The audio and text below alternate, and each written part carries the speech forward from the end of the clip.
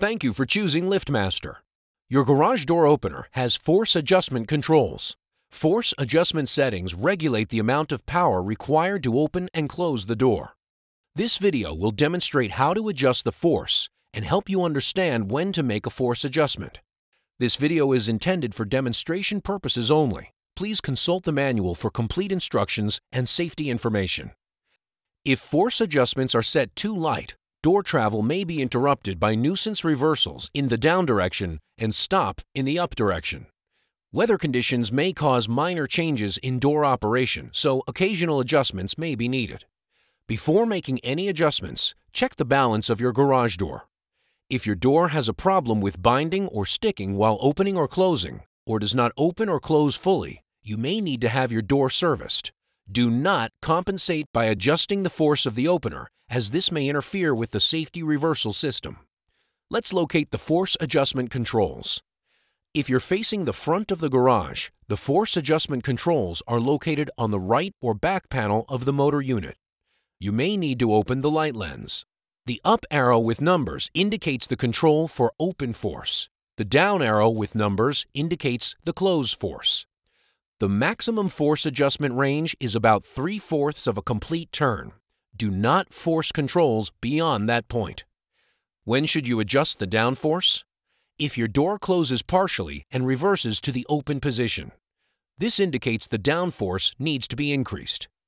Using a screwdriver, increase the down or close force by turning the down force adjustment screw slightly. For example, if down force is set to 1, increase it to 2. Only set the force to the minimum amount required to close the garage door. Setting the force higher than needed will affect the safety reversal system. Run the opener through a complete travel cycle by opening and closing the door. If the garage door still does not close fully and reverses to the open position, repeat the adjustment of the down force and try it again. It may be necessary to make several adjustments. After the adjustment, Run the opener through a complete travel cycle. Always test the safety reversal system after any adjustments. If you still have an issue, contact a trained door systems technician. To watch a video on how to adjust the travel or on how to perform the test of the safety reversal system, please click the link. When should you adjust the up force? If your garage door does not open fully, the up force may need to be increased.